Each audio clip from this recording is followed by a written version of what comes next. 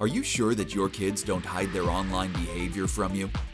Find out with a parental control app. MSpy is a monitoring tool for parents.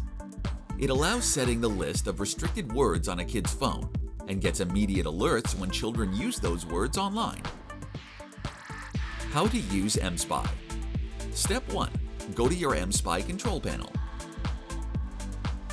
Step 2.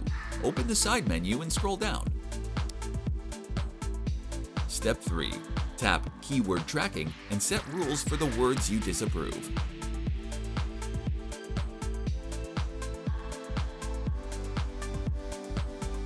That's it.